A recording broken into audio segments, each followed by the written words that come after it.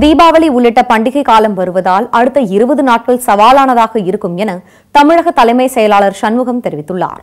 Corona தடுப்பு மற்றும் பல்வேறு திட்டப் பணிகள் குறித்து கோவை ஆட்சியர் அலுவலகத்தில் தமிழக தலைமை செயலாளர் சண்முகம் ஆலோசனை மேற்கொண்டார். பின்னர் செய்தியாளர்களை சந்தித்த அவர் கொரோனா தொற்றின் தீவிரம் குறையவில்லை என்பதை மக்கள் தெரிந்து கொள்ள வேண்டும் என்றார். மேலும் தீபாவளி உள்ளிட்ட பண்டிகைகள் வருவதால் அடுத்த இருபது நாட்கள் சவாலானதாக இருக்கும் என்றும் அவர் கூறினார். கோவை மாவட்டத்தில் கடந்த அக்டோபரில் ஐநூறு பேர் கொரோனாவால் பாதிக்கப்பட்டதாகவும் பல்வேறு கட்டுப்பாட்டு முயற்சிகளின் பயனால் அது தற்போது இருநூற்று இருபதாக குறைக்கப்பட்டுள்ளதாகவும் கூறினார். இதேபோல் கட்டுப்பாட்டு பகுதிகளும் வெகுவாக குறைந்துள்ளதாகவும் தலைமை செயலாளர் சண்முகம் தெரிவித்தார்.